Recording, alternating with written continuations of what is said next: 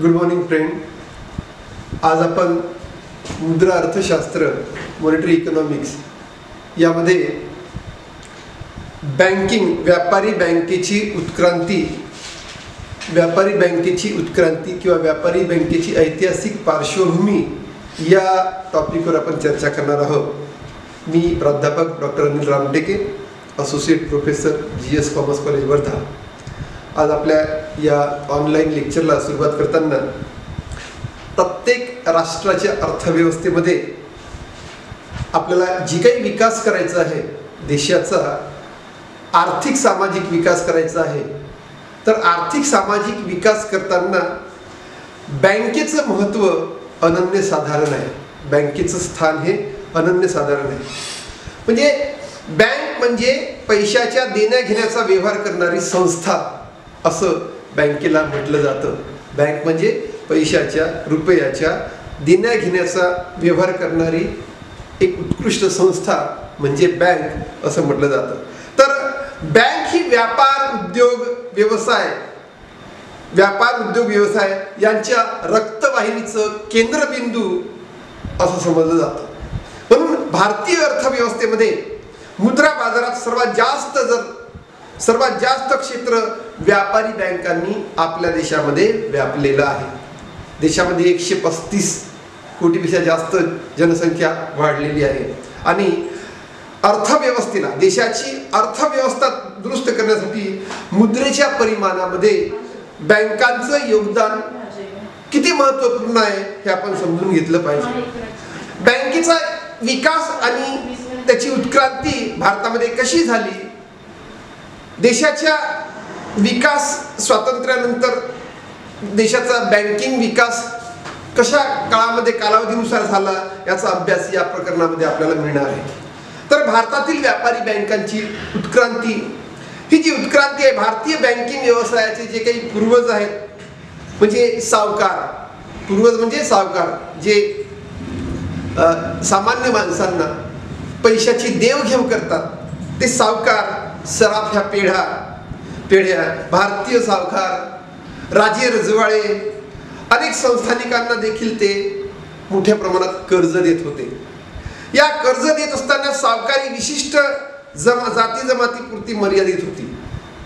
पूर्वीच्या काळामध्ये ही प्रक्रिया ही मर्यादित होती. जात काही विशिष्ट जाती जमातीपुरती मर्यादित होती. जसं मारवाडी जैन पठाण अशा मुख्य व्यवसाय शेती किंवा व्यापार जो होता त्या व्यापारातनं स्वतःची संपत्ती स्वतःची रोख संपत्ती ही कर्ज देण्यासाठी मोठ्या प्रमाणात वापरत होती. तर ह्या संपूर्ण व्यवसायामध्ये ठेवीच्या पैशावर सरकार मात्र अवलंबून राहत नव्हती.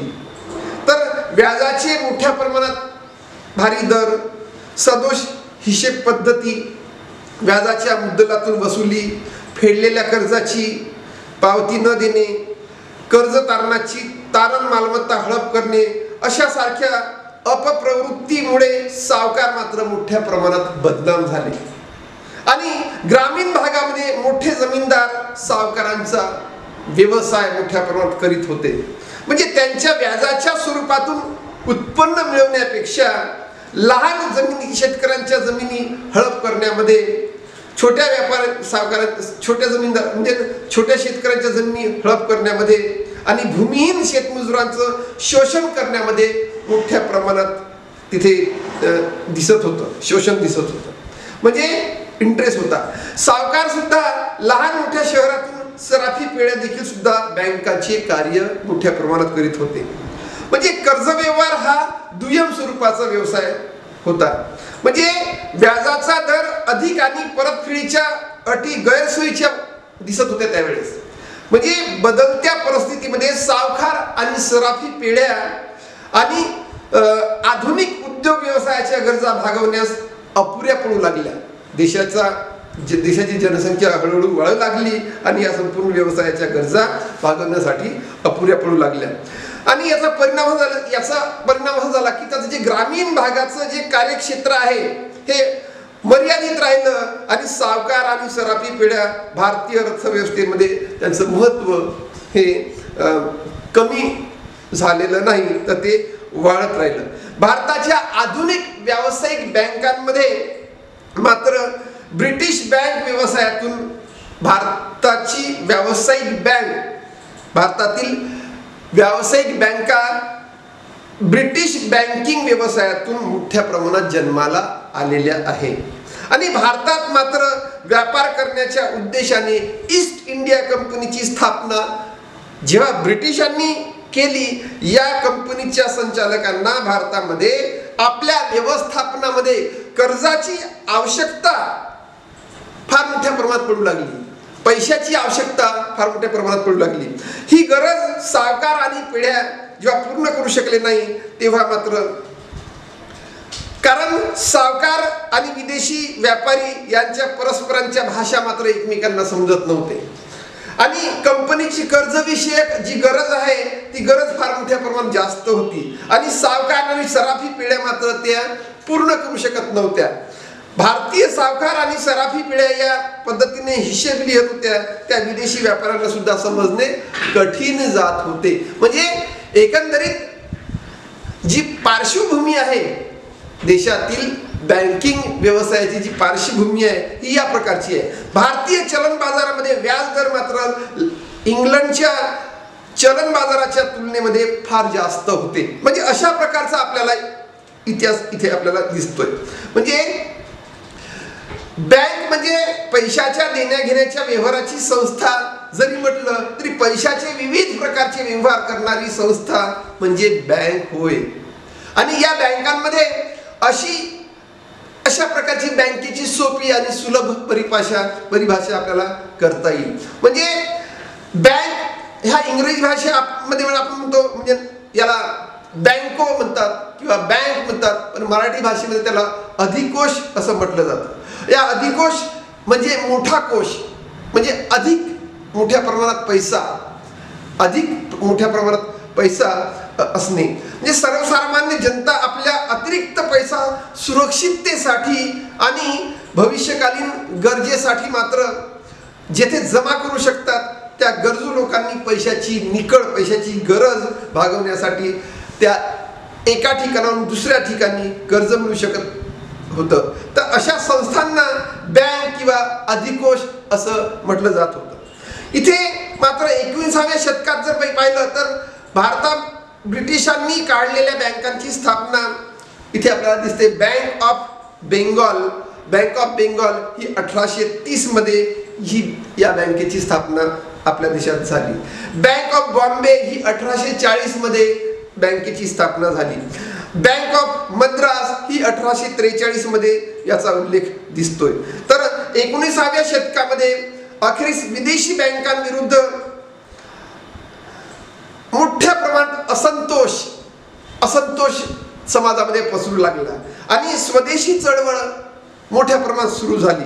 यातूनच Punjab national bank Punjab national bank Canara bank bank of India central bank अशा प्रकारची अशा अनेक प्रकारच्या बँकेची स्थापना झाली. तर सेंट्रल बँकेची स्थापना अठराशे पंच्याऐंशी ते एकोणीसशे अकरा या दरम्यान या बँकांची स्थापना झाली. परंतु बँकांच्या विविध दोषामुळे आणि अपप्रवृत्तीमुळे बँक मोठ्या प्रमाणात त्यावेळेस बुडाल्या. आणि लोकांची लोकांच्या लोकांचा या बँकेवरून विश्वास मोठ्या प्रमाणात कमी झाला. अशी अप्रवृत्ती टाळण्यासाठी भारतामध्ये ब्रिटिश सरकारने एका यशस्वी बँकेच्या आदर्श प्रक्रियेची म्हणजे यशस्वी बँकेचा आदर्श निर्माण करण्याच्या हेतूने एकोणीसशे वीसमध्ये इम्पिरियल इम्पिरियल बँकेची स्थापना केली. इम्पिरियल बँकेची निर्मिती केली. आणि लहान लहान बँका भारतामध्ये या लहान लहान बँका बुडण्याची लाट सुरू झाल्यामुळे एक प्रभावी नियंत्रण बँकेचं एक प्रभावी नियंत्रण निर्माण व्हावं आणि स्वतंत्र मध्यवर्ती बँक असावी अशी शिफारस मात्र विभिन्न चलनविषयक समित्याद्वारे करण्यात आली. आणि हिल्टन कमिशन जेव्हा भारतामध्ये आलं त्या हिल्टन कमिशनतून कमिशनमधून सुद्धा आर बी आयची आर बी आयची रिझर्व्ह बँकेची मध्यवर्ती बँकेची स्थापना भारतामध्ये झाली. एकोणीसशे पस्तीसमध्ये भारताची मध्यवर्ती बँक जी रिझर्व्ह बँक भारतीय रिझर्व्ह बँक म्हणून स्थापित झाली.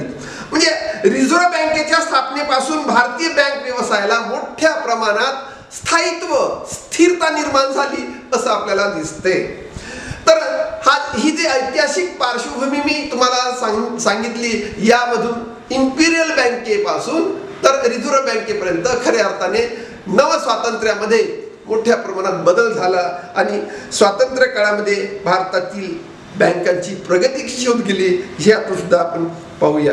जसं एकोणीसशे सत्तेचाळीसमध्ये भारताला जसं स्वातंत्र्य प्राप्त झालं तर एकोणीसशे एकोणपन्नासमध्ये रिझर्व्ह बँकेचे राष्ट्रीयकरण करण्यात आले. नॅशनलायझेशन केलेलं आहे. आरबीआयचं नॅशनलायझेशन केव्हा झालंय? एकोणीसशे एकोणपन्नासमध्ये झालंय हे लक्षात ठेवा. राष्ट्रीयकरण झाल्यानंतर रिझर्व्ह बँकेने अनेक बँकांच्या सुधारणेसाठी अनेक प्रकारचे विविध प्रकारचे प्रयत्न सुरू केले. आणि रिझर्व्ह बँकेचे नियंत्रण अधिक कार्यक्षम व्हावे. मोठ्या प्रमाणात कार्यक्षम व्हावे त्याचं व्यवस्थापन चांगल्या प्रमाणे व्हावं. म्हणून एकोणीसशे पंचावन्नमध्ये स्टेट बँकेची सुरुवात झाली. स्टेट बँक अस्तित्वात आली. म्हणजे एकोणीसशे पंचावन्नमध्ये भारतामध्ये स्टेट बँकेची स्टेट बँकेचं अस्तित्व निर्माण झालं असं आपल्याला दिसतंय.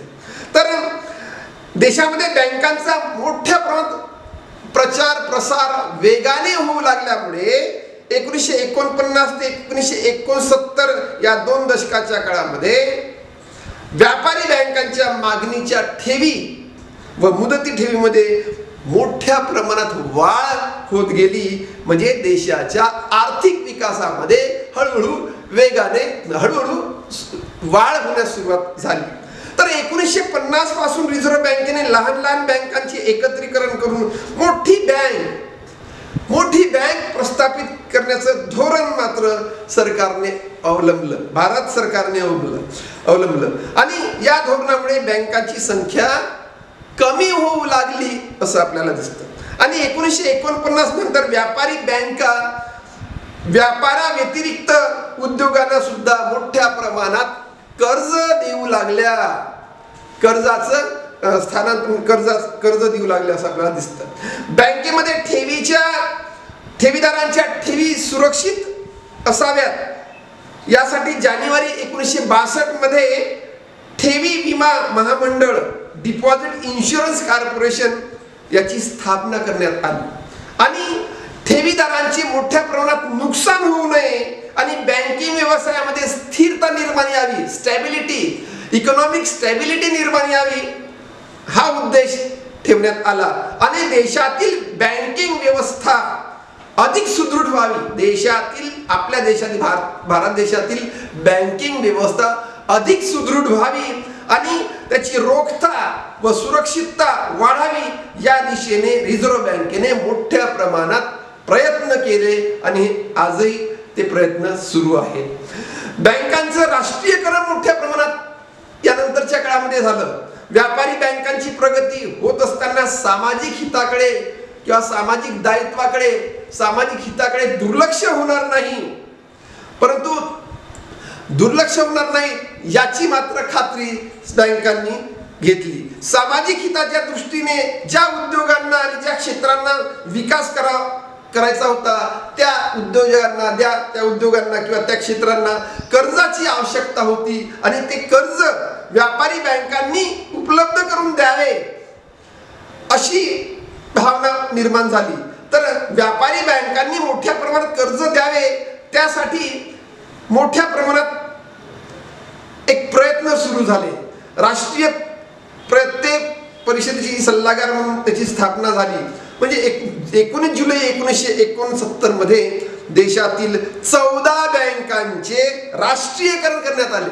पहिल्यांदा आपल्या देशामध्ये आधुनिक भारतामध्ये फार मोठी आणि बँकिंग विकासामध्ये बँकिंग इतिहासामध्ये फार मोठी क्रांतिकारक जर कोणती घटना घडली असेल तर एकोणीसशे एकोणीस जुलै एकोणीसशे एकोणसत्तरमध्ये देशातील चौदा बँकांचे राष्ट्रीयकरण करण्यात आले नॅशनलायझेशन करण्यात आलं.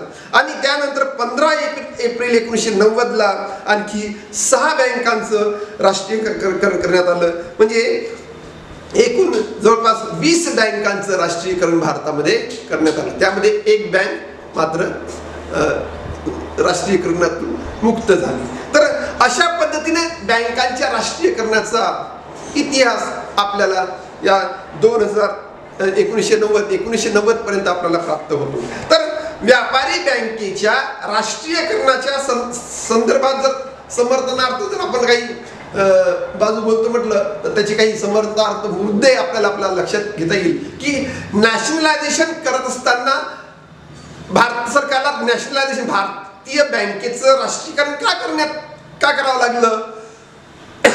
ही भूमिका मात्र समजून घेणं अत्यंत आवश्यक आहे. कारण कारण भारतामध्ये त्यावेळी भारतामध्ये जे तत्- तत्कालीन पंतप्रधान इंदिरा गांधी श्रीमती इंदिरा गांधी होत्या त्यांनी मात्र ह्या बँकांचं राष्ट्रीयकरण केलेलं आहे.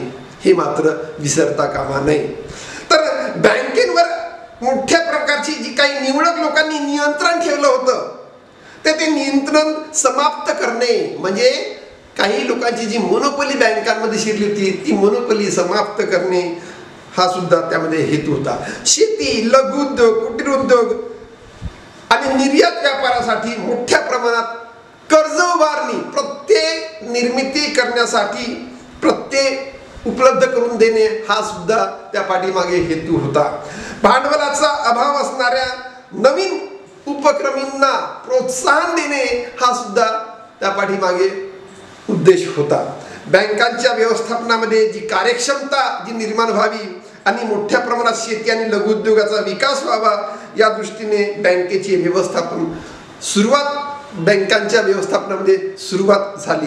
आणि बँकेतील कर्मचाऱ्यांना मोठ्या प्रमाणात प्रशिक्षणाची व्यवस्था निर्माण करून दे देऊन त्यांच्या सेवा शर्तीमध्ये सुधारणा करण्यात आली. अशाप्रमाणे राष्ट्रीयकरण बँकांचं राष्ट्रीयकरण केल्यानंतर सरकारकडून बँकांची दोन मोठी उद्दिष्ट निश्चित करण्यात आली. ते एक म्हणजे ग्रामीण आर्थिक अर्धनागरी क्षेत्रामध्ये बँकांच्या शाखा मोठ्या प्रमाणात निर्माण करणे म्हणजे भारत हा खेड्यांचा देश आहे. किंवा ग्राम ग्राम म्हणजे खेड्यांचा देश आहे असं म्हणतात. तर खेडेपाळी म्हणजे प्रत्येक गावामध्ये पाच लाख शहात्तर हजार खेड्यांचा देश असल्यामुळे भारतातल्या बँकांच्या शाखा ह्या गावागावात निर्माण व्हाव्या आणि लोकांचे व्यवहार बँकेतून व्हावे असा उद्देश होता. म्हणून मोठ्या प्रमाणात बँकांच्या शाखेचा विस्तार करण्याची सुरुवात या राष्ट्रीयकरणातून निर्माण झाली. आणि ज्या काही सेवा बँका उपलब्ध करून देतात त्या सेवा मात्र सामान्य लोकांना अग्रक्रमाने उपलब्ध व्हाव्यात. शेती आणि लघु उद्योग कुटीर उद्योग आणि सार्वजनिक उद्योग अशा व्यापारी क्षेत्रातल्या लोकांना बँकांच्या सेवा मोठ्या प्रमाणात उपलब्ध व्हाव्यात हा त्याच्या पाठीमागे उद्देश होता असं आपल्याला दिसते. म्हणून राष्ट्रीयकरणानंतर मात्र बँकांच्या प्रगतीचं जे काही मूल्यमापन आपल्याला दिसतं ते आपल्याला आपण समजून घेणं अत्यंत आवश्यक आहे. तर बँकांच्या या ज्या बँक बँकांची उत्क्रांती आहे बँकेचा जो इतिहास मी तुम्हाला सांगितला आहे अशा पद्धतीने बँकेचं नॅशनलायझेशन झालेलं दिसतं. तर बँक म्हणजे बँक म्हणजे पैशाच्या देण्याघेण्याच्या व्यवहार करणारी जी संस्था आहे तर ही संस्था अशा पद्धतीने आपल्याला दिसून येते. तर जगातील बँकिंग व्यवहार हे अत्यंत पुरातन काळापासून आपण होत राहिलेत. आणि आधुनिक काळामध्ये ज्या बँकेची प्रगती झाली ही राष्ट्रीयकरणामध्ये फार मोठ्या प्रमाणात बँकांची प्रगती होऊ लागली. तर जशा पुन्हा एक इतिहास आपल्याला असा दिसतो. इटलीमध्ये बँकेचा इतिहास असा सांगितला जातो की इटलीमध्ये जे जे इटली बँकेतून बँकेचा जी उत्पत्ती निर्माण झाली ही इटलीमधून निर्माण झाली. इटलीमध्ये सोनार लोक सोनाराकडे सोनार लोकांकडे पैसा म्हणजे न- पैसा मागत होते. कारण सोनार हे सावकार होते. तर सोनार काय करायचे? पावत्या लिहिण्यासाठी ज्या बँकांचा उपयोग करत होते त्याला बँको असं म्हणत आहेत म्हणायचे. आणि त्या प्रक्रियेतून बँकांची उत्पत्ती झाली असं आपल्याला दिसतं. म्हणजे पुढे बँक्स हा शब्द रूढ झाला त्यानंतर पुढे चेक मात्र चेकमध्ये रूपांतर झालं. इंग्लंडमध्ये चौदाव्या शतकात शतकामध्ये सुरुवातीला आधुनिक स्वरूपाच्या बँका विकसित झाल्या आणि सरकारी सरकारी बँक सरकारी बँक सरकारी बँकाची जी प्रक्रिया ही भारतामध्ये स्वातंत्र्य काळानंतर ब्रिटिश काळापासून तर स्वातंत्र्यानंतर मोठ्या प्रमाणात विकसित झाली. आता व्यापारी बँकांची ही अशा प्रकारची पार्श्वभूमी मी तुम्हाला सांगितली. तर साधारणतः व्यापारी बँकेचा अर्थ आणि व्याख्या हे सुद्धा समजून घेणं अत्यंत आवश्यक आहे. तर त्यासाठी बँकेच्या नफ्यातील वाढ ही असमाधानकारक का होती? हे सुद्धा समजून घेणं आवश्यक आहे. बँकांच्या नफ्यातील वाढ असमाधानकारक या कारणामुळे होती की एक त्यामध्ये निर्देशित गुंतवणूक निर्देशित प्रत्येक कार्यक्रम सवलतीचे व्याजाचे दर बँकांच्या खर्चामध्ये वाढ अशाप्रमाणे बँक अशाप्रमाणे जे मुद्दे दिसतात या मुद्द्यातून बँकांच्या नफ्यातील वाढ असमाधानकारक होती असं आपल्याला दिसतं. तर बँकेच्या राष्ट्रीयकरणाचे दोष सुद्धा आपण समजून घेतले पाहिजे. तर बँकेच्या राष्ट्रीयकरणाचे दोष हे खालीलप्रमाणे आहे. एकोणीसशे एकोणसत्तरमध्ये बँकेचे राष्ट्रीयकरण करण्यात आले आणि त्यातून मात्र काही दोष आपल्याला दिस दिसतंय. त्यामध्ये म्हणजे राष्ट्रीयकरण जेव्हा बँकेचं झालं तेव्हा दिरंगाई वाढली. राष्ट्रीयकरणामुळे बँकांवर नोकरशाहीचं वर्चस्व वाढलं आणि निर्णय घेण्यामध्ये मोठ्या प्रमाणात सरकारी क्षेत्रामध्ये उशीर झाला म्हणजे दिरंगाई निर्माण झाली. राजकारण मोठ्या प्रमाणात निर्माण झालं. राजकीय दबाव. राष्ट्रीयकरणामुळे मोठ्या प्रमाणात राजकीय दबाव निर्माण झाला. राजकीय म्हणजे बँकांना सत्ताधीश राजकीय पक्षाचा दबाव सहन करावा लागत होता आणि कर्मचाऱ्यांची भरती बदली कर्ज पुरवठा कर्जाचे वाटप अशा प्रमाणात मोठ्या प्रमाणात प्रभावित करत होते. संघटनांचा विकास म्हणजे राष्ट्रीयकरणानंतर बँकिंग क्षेत्रातील संघटनांचा अधिक बळकटपणे बँका बळकट झाल्या परंतु संप घेराव अशा पद्धतीचे संघर्ष मात्र मोठ्या प्रमाणात निर्माण होऊन आर्थिक व्यवस्थेला मोठ्या प्रमाणात नुकसान होत गेले. अनेक बँकांनी मोठ्या प्रमाणात संप घोषित केला त्यामुळे सुद्धा अर्थव्यवस्थेला नुकसान झालं. कर्जाची थकबाकी राष्ट्रीयकरणानंतर मोठ्या प्रमाणात बँकांनी कर्ज देण्याचा व्यापाऱ्यांना एक सपाटा सुरू केला. ग्रामीण भागात सुद्धा प्रत्यनिर्मितीचे प्रमाण वाढले आणि गरिबी शेतकऱ्यांनी कर्ज घेतल्यानंतर ते परत करत नव्हते किंवा व्यापाऱ्यांनी सुद्धा परत करत नव्हते. त्याची थकबाकी वाढली. त्याच्यामुळे कर्जाची थकबाकी वाढली. म्हणजे आर्थिक संकट सुद्धा बँकेवर आलं. आर्थिक विषमतेत मोठ्या प्रमाणात वाढ झाली असं आपल्याला दिसतं. तर बँकेतर्फे मोठ्या प्रमाणात कर्ज पुरवठा वाढला आणि श्रीमंत वर्गाला मोठ्या प्रमाणात कर्ज देण्यात आला आणि गरीब शेतकऱ्यांना कमी कर्ज पुरवठा देण्यात आला. त्यामुळे सुद्धा एक आर्थिक विषमता त्यामध्ये दिसून येते असं आपल्याला दिसतं. तर इथे मात्र मी बँकेची ऐतिहासिक उत्क्रांती कशी निर्माण झाली यावर मी तुम्हाला व्याख्यान दिलं आहे तर महत्त्वाचे मुद्दे तुम्ही लक्षात घ्याल. थँक्यू.